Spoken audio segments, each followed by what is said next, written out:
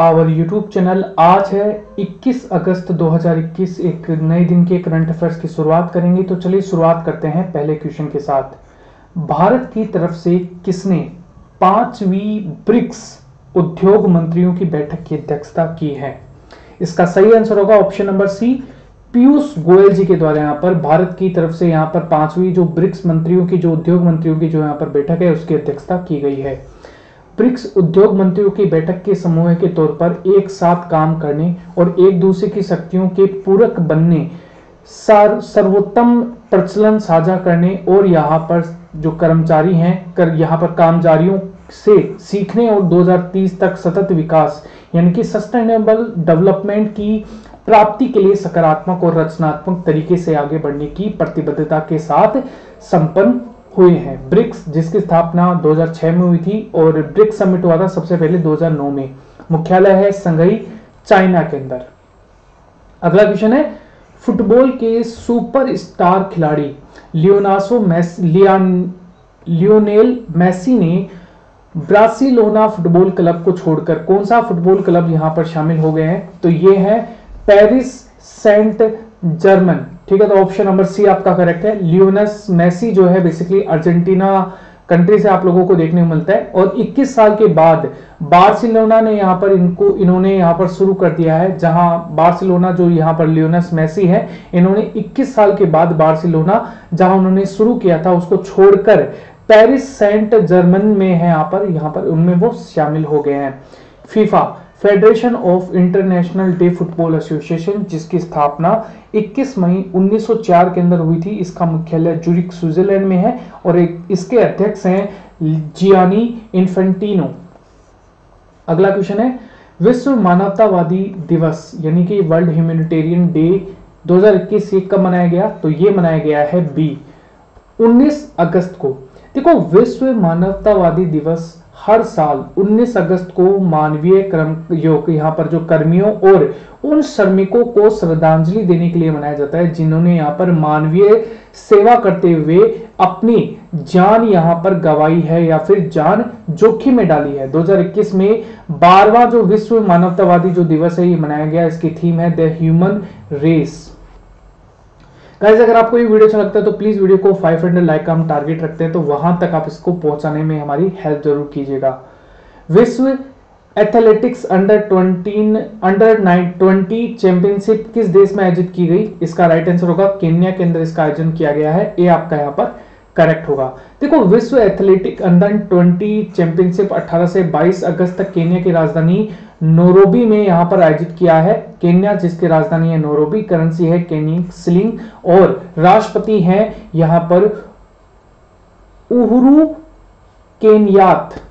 अगला क्वेश्चन है, किस अभिनेत्री को जियो मामी फ़िल्म महोत्सव का अध्ययन, जो अध्यक्ष है, वो यहाँ पर नियुक्त किया गया है। ये किया गया है प्रियंका चोपड़ा को। तो दीपिका पादुकोण के पद पद से इनको हटाकर और चार महीने के बाद अभिनेत्री प्रियंका चोपड़ा को जोन्स को जियो जो है यहाँ पर, जियो मामी फ़िल्म जो है, इसके अध्यक्ष के रूप में घोषित किया गया है। अगला क्वेश्चन है, भारतीय सेना ने 400 किलोमीटर जज्बा ए तिरंगा रिले मैराथन का आयोजन कहाँ पर किया गया है? तो ये किया गया है जम्मू एंड कश्मीर में। बी आपका करेक्ट है। देखो, जम्मू एंड कश्मीर में सेना के 400 किलोमीटर जज्बा तिरंगा नाम से रैली मैराथन का आयोजन किया गया है। नियंत्रण रेखा यानी कि यहाँ पर लाइन ऑफ़ कंट्रोल, एलओसी पर भारतीय तिरंगे को ले जाकर 300 से अधिक सैनिकों ने भाग लिया और इस दौड़ ने सैनिकों में यहाँ पर भाईचारे की भावना को यहाँ पर जगाया। जम्मू एंड कश्मीर 370 हटने के बाद एक यूटी के रूप में, जो कि क्षेत्रफल की दृष्टि से सेकेंड लार्जेस्ट यूटी है। जम्मू एंड कश्मीर की जो राजधानी है, ये है जम्मू और शीतकालीन है, ग्रीष्मकालीन है श्रीनगर। राज्यपाल है यहाँ पर मनोज सिन्हा, आप लोगों को देखने को मिलते हैं एवरीवन इसके अलावा जम्मू एंड कश्मीर के जो न्यायाधीश हैं यहाँ पर, न्यायालय के जो मुख्य न्यायाधीश हैं, ये है पंकज मित्थल।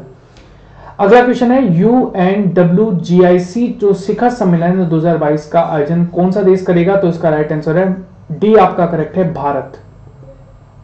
देखो, यहाँ पर United Nations World Geospatial Information Congress इसका यहाँ पर दूसरा यहाँ पर जो शिखर सम्मेलन है 2022 के अंदर अक्टूबर 2022 में हैदराबाद तेलंगाना के अंदर इसका आयोजन किया गया। पहला शिखर सम्मेलन 2018 में किया गया। इस बार किसकी थीम थी?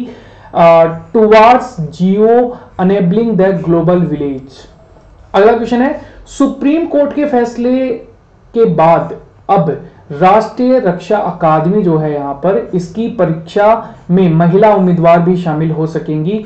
तो बताइए, एनडीए का मुख्यालय कहाँ पर स्थित है? यह है यहाँ पर खड़गवासला में, जो कि महाराष्ट्र में आप लोगों को देखने को मिलेगा। नेशनल डिफेंस एकेडमी इसकी स्थापना 7 दिसंबर उन्नीस सौ चौवन को हुई थी। इसका मुख्यालय है खड़गवासला में, महाराष्ट्र में, और यहाँ पर कमांडेंट जो यहाँ पर लेफ्टिनेंट जनरल हैं असीत मिस्ट्री जो है यहाँ पर आप लोगों को देखने को मिलेंगे। अगला क्वेश्चन है, केरल के एडवेंचर टूरिज़्म के ब्रांड एम्बेसडर कौन बने हैं? राइट आंसर है पी आर श्रीजेश ए आपका करेक्ट है तो आप लोग सभी जानते हैं यहाँ पर इनको। ओलंपिक पीआर जो ओलंपियन है यहाँ पर पीआर श्रीजेश इनको केरल के एडवेंचरस टूरिज़्म के ब्रांड एम्बेसडर के तौर पर नियुक्त किया गया है एवरीवन ठीक है? अगला क्वेश्चन देखिए यहाँ पर। एंटी टेररिस्ट स्क्वाड यानी कि एटीएस इसके प्रशिक्षण केंद्र किस राज्य में स्थापित किए जाएँगे? राइट आंसर होगा ऑप्शन नंबर करेक्ट है यहाँ पर बी उत्तर प्रदेश के अंदर इसके जो प्रशिक्षण केंद्र है, वो यहाँ पर ओपन किए जाएँगे एवरीवन देखो एटीएस आतंकवाद निरोधी जो दास जो दस्ते हैं यहाँ पर स्क्वाड हैं, वो आप लोगों को देखने को मिलेगा. उत्तर प्रदेश सरकार के सहारनपुर के वेदबंद में आतंकवादी निरोधी दस्ते जो हैं, इनको कमांडो के रूप में यहाँ पर प्रशिक्षण केंद्र स्थापित किया जाएगा। सो so गाइस अगर आपको ये वीडियो अच्छा लगता है तो प्लीज़ वीडियो को लाइक और शेयर ज़रूर कीजिएगा। Thank you everyone bye guys take care